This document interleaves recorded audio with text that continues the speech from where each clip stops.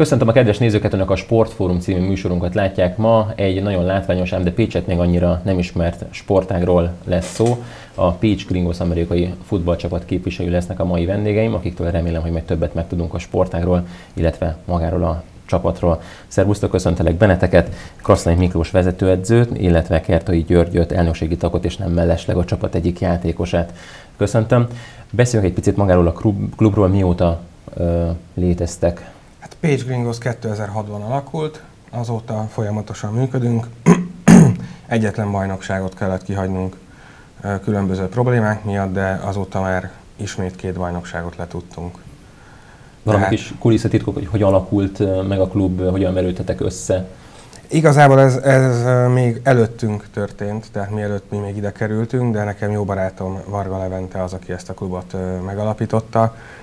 A legenda szerint egy horvátországi nyaraláson találták ezt ki, illetve a név is innen ered, egy amerikai futballlabdára ráraktak egy szombrérót, és akkor találták ki ezt, hogy hát akkor legyen Gringos a csapatnak a neve.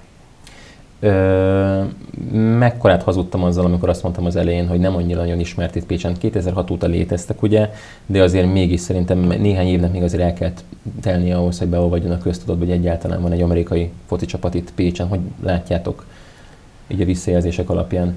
Igen, azt kell, hogy mondjam, hogy a különböző sporttévéknek köszönhetően egyre nagyobb a népszerűsége a sportágnak. A maga a Magyar Amerikai Futball Szövetség is 2005-ben alakult, tehát a szövetség is viszonylag egy fiatal szövetség a sportszövetségek között, illetve azért az nagyon sok mindent elárul, hogy jelenleg már 22 csapat tagja a szövetségnek, és ezen kívül 6-8 szövetségen kívüli csapat van még, akik tervezik, hogy belépnek. Én azt gondolom, hogy nagyon dinamikusan fejlődik ez a sportág, amint az anyagi hátterek csapatoknál rendeződnek, azonnal szerintem egy, egy ugrásszerű fejlődés lesz majd észrevehető. Na menjünk tovább ezen a vonalon, mennyire áll stabil lábokon jelenleg a klub? Ismerjük az összes többi klubnak a anyagi helyzetét, nálatok mi a helyzet? Igazából szponzorpénzekre nem számíthatunk, mm, pont a nem annyira ismertség okán.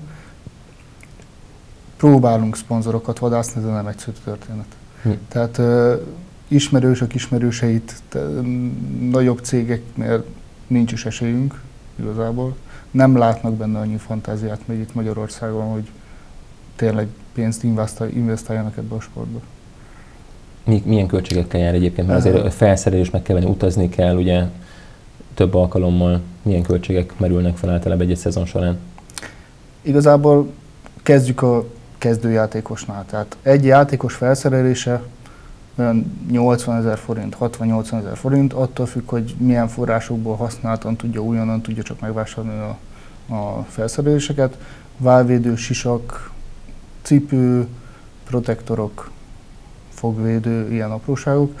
Igazából ami drága belőle az a sisak és a válvédő, a többi az ismert a többi sportágban is a többi felszerelési tárgy, azok nem olyan vészes költségek. Maga az éves költség azok, azok közül is inkább, ami a, a szövetségnek megy tagdíj, az a sok. Az utazásokra össze szoktuk dobni a pénzt, tehát az nem olyan vészes. Eddig a maximum, amit fizetnünk kellett fejenként 5000 forint, Szombathelyre, amikor mentünk, ez volt a legtávolabbi mérkőzésünk, azt mondom, hogy megfizethető. Az nem, nem problémás. Tagdíj se vészes, 18 év alatt 2000 forint, fölötte 4000 forintot kérünk a játékosoktól, nem egy nagy összeg. Ha azt nézzük, hogy melyik másik egyesület mennyi a tagdíj. Akár egy kondi bérlet havi szinten mennyi lehet most? 5-6 ezer forint. ezer forint, igen. Nem, nem egy nagy összeg. És hányan vagytok most jelenleg a csapatban? Ez mindig nehéz kérdés. Azt mondom, hogy most az edzéseink 20 és 30 fő közötti létszámmal mozognak, de nem ugyanaz a 20 és 30 fő jár, hiszen nagyon sokan dolgoznak mellette, egyetemre járnak, tehát van, aki nem tud eljönni erre az edzésre, továbbá van hat kaposvári játékosunk is, akik tavasztól edzenek mindig velünk, ők így ősszel nem nagyon tudnak lejárni, mert hát nekik is költséges. Azt mondom, hogy papíron a legtöbb játékos, akit neveztem egy mérkőzésre, az 46 volt. És az már egy olyan megközelítőleg egész jó számnak tekinthető. Kicsit mélyedjünk el magában a sportágban, hiszen nagyon sokan keverik a rögbivel az amerikai focit. Vázoljuk fel, hogy ez nem ugyanarról a sportágról van szó. Szóval mi a, mi a különbség a rögbi és az amerikai foci között? Hát most minden különbséget fel szeretnék sorolni, akkor itt ülhetnénk. A legfontosabb Akkor. A legfontosabb az, hogy a rögbiben nincsen védőfelszerelés. Tehát mm, ott olyan fejvédő van, amit focikapuson láthattunk, például a Chelsea-ben védő Peter Cseh véd ilyen fejvédőben. Nálunk ez konkrétan egy sisak, illetve válvédő. A meccsnadrágban benne vannak különböző protektorok, tehát kicsit úgy néz ki egy amerikai focista, mint aki lenne tömve. Talán innen a legkönnyebb megkülönböztetni, illetve hát eleve a labda formája is nagyon más. A miénk az, a rögbi labda sokkal kerek, dedebb, annak ellenére mégis tojás. A miénknek a két vége, az, azt mondom, hogy, hogy nincs annyira lekerekítve, mint a rögbi labdának tehát talán ezek azok a különbségek, amik úgy egy külső szemlélőn, aki nem ért hozzá, ránéz, és azt mondja, hogy igen, ez amerikai futball, ez pedig rögbi. És ami a szabályokat illeti? Ott rengeteg eltérés van. Tehát a, a rögbi egy inkább folyamatos játék, míg az amerikai futball úgynevezett playekből, játékokból áll, ami, ami 5-10 másodperc egy, egy ilyen játék, és uh, utána következik az újabb játék, a rögbinél pedig ugye sokkal folyamatosabb maga a játék. A többi szabályban hát nagyon-nagyon sok különbség van, tehát más a, a pontszerzések mások, más szabálytalanságok vannak, máshogy szabad ütközni, tehát például rögbiben nem szabad fejelni, nálunk ez bizonyos helyzetekben megengedett, és tényleg rengeteg, tehát nagyon-nagyon, az, tipikusan az amerikaiak ugye annyira szeretnek elszakadni az őshazának nem mondanám, de a, a britektől, hogy a, például a cricket baseball különbsége ugyanígy megvan nálunk is a rögbi és az amerikai futball között. Tehát azt mondom, hogy óriási. Peach Gringos ugye a csapatnak a neve. Ö, Pécset edzetek, de Kozermismerben játszátok a meccseteket. Miért nincs esetleg ö, megfelelő pályait Pécsen? Olyan, amit megkaphatnánk meccsnap, meccsnapokra, amik hétvégén vannak, szombat-vasárnap, olyan nincs.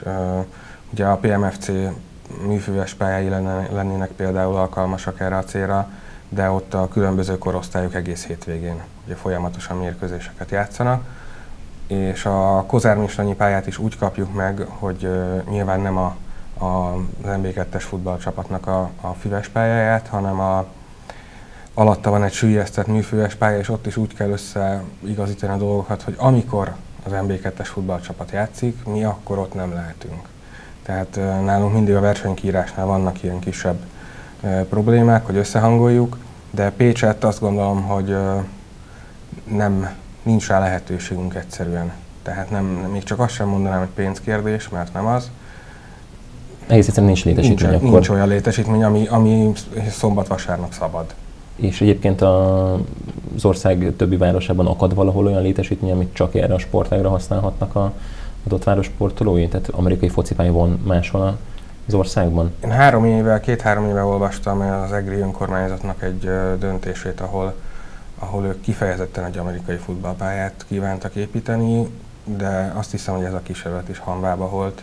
Tehát szinte nem, mindenki a rendes futballpályán játszik, ugye a futballkapukat meghosszabbítva alakítjuk ki ezeket a villákat, ami a rugásoknál fontos, és méretbeli eltérések is vannak, főleg hosszra, pálya hosszra szokott ez kiterjedni, de ezeket elfogadja a Magyar-Amerikai Futball Szövetség. Beszéljünk egy picit a bajnokságról. Szeptember végét írunk, és már réges rég letudtátok az idei szezont, a 2012-es szezont. Hát sok mérkőzést nem kellett játszani ebben az idényben. Igen, előre bocsátanám, hogy az idei csapatunk 90%-ban kezdő volt, tehát az egyik játékosunk megszámolta, hogy az első pályára lépésnél az öt úgynevezett támadó falember kevesebb meccset játszott összesen, mint ő életében. És egy, egy nagyon Igazából nagy várakozások részemről legalábbis nem voltak a csapattal szemben, tisztes. Én egy szoros meccset szerettem volna, ez volt a szezon elején a tervem, nyilván ezt a fiúkkal nem közöltem, mert így nem futunk neki bajnokságnak. Ehhez képest sikerült egy győzelmet elérnünk, a Veszprém Wildfire csapatát vertük meg 21-18-ra, és négy vereséget szenvedtünk el. De ahhoz képest, hogy mindenki, tehát a szűk amerikai futball szakma minket pofozógépnek tartott a szezon előtt, azt hiszem, hogy azzal a Veszprém győzelemmel megmutatta a csapat, hogy, hogy van benne potenciál, és, és ügyesek a srácok, csak hát ugye nagyon sok rutin kell hozzá. Az átlag életkor is nagyon fiatal és ez is sokat számít. Magyarországon hogy néz ki az amerikai foci térkép, így az osztályokat tekintve, milyen bajnokságban játszatok most, milyen osztályok vannak, hogy kell elképzelni? Mi jelenleg a legalsóbb osztályban, a Divízió 2-ben játszunk. Mm, itt jelenleg 12 csapat van, ha nem zárták ki a Veszprémet. Kizárták a Veszprémet. Kizárták a Veszprémet, akkor már csak 11. Ezen kívül létezik még egy Divízió 1, és van egy HFL liga is, ami a Hungarian Football, Football League névre hallgat. Ez az őszi bajnokság, amit, Ez ami kiemelt. kiemelt őszi bajnokság, ahol tényleg a legerősebb csapatok játszanak. És a legmagasabb osztályban ott mennyire komoly akár a többi országhoz képest a színvonal akár, vagy a milyen erősséget képviselnek ezek a csapatok itt Magyarországon? Mm, a legmagasabb osztályban Magyarországon ez a, ez a négy csapat, aki a HFL-ben indul, úgy gondolom, hogy kiemelkedő.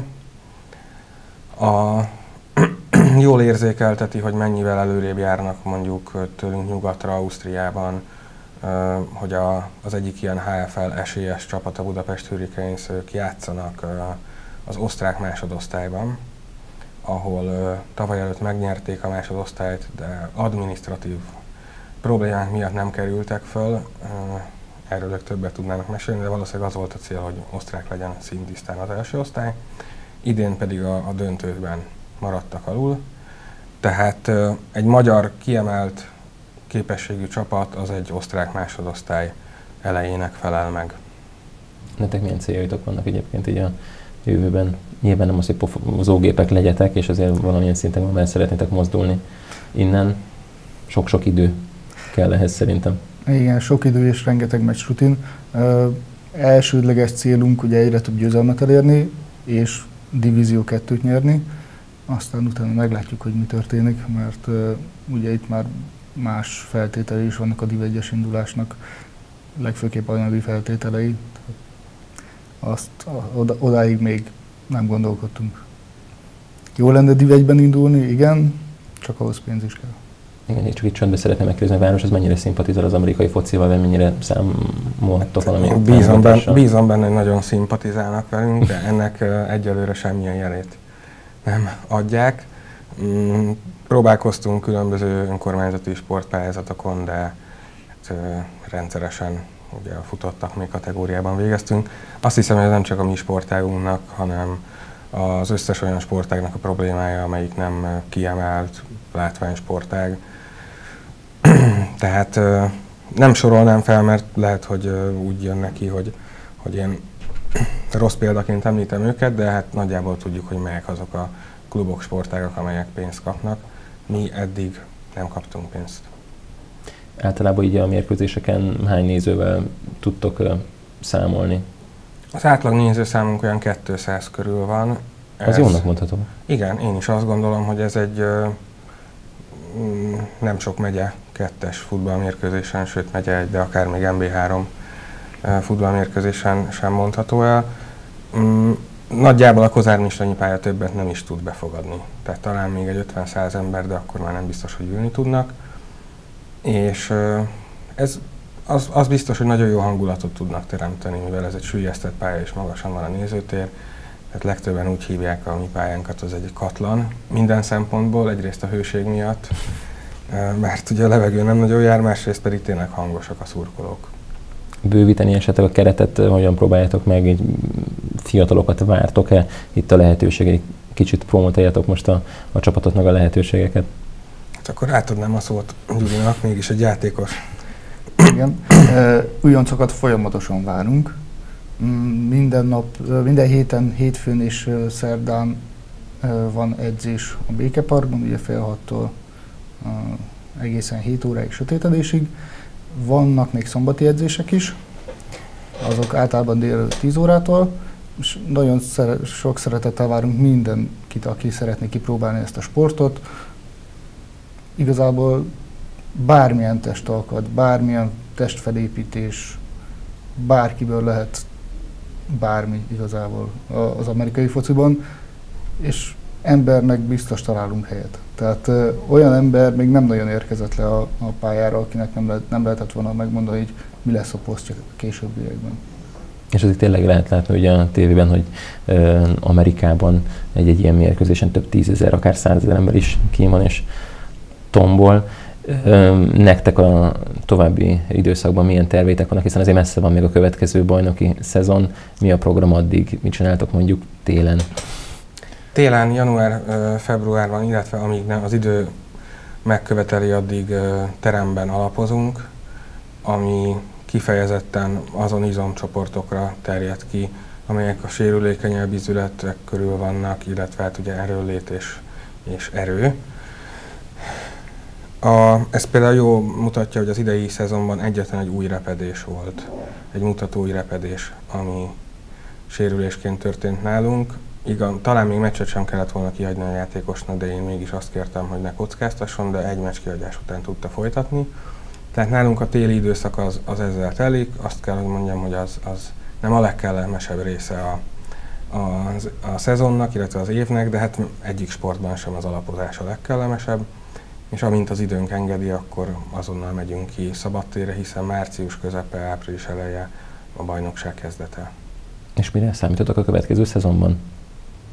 Mindenképpen arra, hogy öt győzelemmel zárjunk és döntőt játszunk, de komolyra fordítva a szót, én, én azt szeretném, hogyha ez a társaság így egyben maradna, ami úgy néz ki, hogy mm, meg is történik. Most annak ellenére, hogy többen elmentek tanulni, de ők is visszajárnak a hétvégi edzésekre, és ők is továbbra is a gringót szeretnék erősíteni.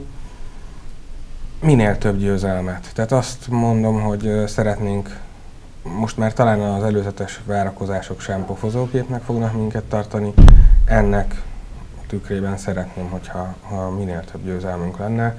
A pozitív mérleg az már nekem egy nagyon nagy eredmény lenne, de legalább egyel több győzelmet kell szerezni, mint tavaly. Most volt a napokban a nagy sportág választó, nem tudom, hogy ott voltatok-e képviselt Ott te magát a klub. És milyenek voltak a visszajelzések? Volt-e sok fiatal, aki kipróbálta, vagy beleshetett egy picit az amerikai fociba? Igazából sajnos az időjárás nagyon nem kedvezett a sportágválasztónak. A csütörtöki nap az el is maradt úgy, ahogy volt. Péntek, szombaton volt ugye megtart, szombaton volt megtartva a csütörtöki nap. Én csak szombaton tudtam ott lenni. Sajnos egy ember nem jött oda. Igazából egy apuka jött oda kipróbálni a, a vállvédőt, meg a sisakot, hogy hogy néz ki, és dobálgatott a kis három éves fiának. Ennyi volt az összes érdeklődés, de ez nem csak rólunk mondható el, tehát szombaton szinte senki nem volt a sportágválasztón. Én meg akkor a pénteki napról tudnék beszélni, hát ott sem volt sokkal rózsásabb a helyzet, ugye 12 fok volt, néha esett, néha nem. Annak ellenére mi a tizen pár fővel kint voltunk, mi voltunk a legtöbben, illetve hát a táncos lányok a Fordán Tánc Egyesülettől. Hát én azt mondom, hogy ez egy, ez egy nagyon-nagyon jó kezdeményezés a sportágválasztó, csak ezt ö, jól meg is kell valósítani ahhoz, hogy ö, legyen értelme, mert így gyakorlatilag azt mondom, hogy ennek a két napnak így nem volt értelme. Hát az időjárás nagyon keresztül húzta tényleg a, a szervezők számításait. Arról meséltek nekem egy picit még, hogy ö, talán mint vezetőedző azért lehet nagyon nehéz a dolgod, mert egyrészt új sportágban honnan tudsz ellesni mindenféle trükköket, akár edzésen, tehát honnan szeded az ötleteket, akár gondolok itt a pályán akciókra, stb. mindenféle formációkra, netről, tévéből, hogyan dolgozol? Természetesen Amerikából szerzett információkra építem a, a, az egész játékrendszert. Leginkább szakkönyveket szoktam rendelni Amerikából, illetve nézem az egyetemi bajnokságot, mert azért a, az NFL az nem a mi szintünk, tehát annak ellenére nagyon jól néz ki ott egy játék, azt, azt mi nem tudjuk megvalósítani. Egyetemi csapatok és talán a középiskolai bajnokságok azok, amelyek számunkra példát mutathatnak, illetve hát a, a szövetség már szervezett edzőképzést, tehát ott is az alapokat már magyar-amerikai futball szakkönyvből e, sikerült elsajátítani. Nem mondom, hogy az, az amire építek, de, de nagyon sok igazság volt benne. Tehát tényleg ezt másképp nem lehet csinálni. Ugye meg, ott vannak a videó megosztó oldalak, azon keresgél az ember, könyvek és a, a mérkőzések nézése más. Más nincs jelenleg. Említettétek, amikor vannak az edzések, hogyha valakinek esetleg felkeltettük az érdeklődését, van nálatok alsó vagy felső korhatár, vagy bármilyen? Jelenleg a legfiatalabb játékosunk 14 éves, a legidősebb 39. Tehát nincs semmiféle korhatár. Se alsó, se felső. Mindenki kipróbálhatja. Ami nagyon fontos, hogy a tagdíj első hónapban ö, nem fizetendő, tehát eldöntheti egy hónap alatt, hogy maradni szeretne vagy nem, és utána kell csak fizetnie. Én azt gondolom, hogy volt már tíz év alatti kisrác is lent nálunk, nem is tudom, két-három hónapig járt, biztos utána máshol is kipróbálta magát. Illetve most beindul egy új kezdeményezés Magyarországon, a Flag Football, ami egy kifejez, ami kifejezetten tiltja a testi kontaktust, tehát ez egy ilyen családi játéknak tekinthető az Amerikai Egyesült Államokban. Ott viszont tényleg se korhatár, se nem, nem számít. Ott, ott családok összeállnak és egymás ellen játszanak egy jót, úgy, hogy nem érhetnek egymáshoz, tehát a sérülés veszélye az kizárható. Ez még a jövő zenéje, úgy érzem. Nagyon szépen köszönöm, hogy itt voltatok, és akkor sok sikert a következő szezonra, és akkor kitartást a felkészüléshez. Köszönöm, hogy itt voltatok. Köszönjük szépen. Köszönjük szépen. Kedves nézőnek is köszönjük a figyelmet, ennyi volt már a Sportfórum. Holnap ugyanebben az időben várom Önöket, addig is minden jót viszontlátásra.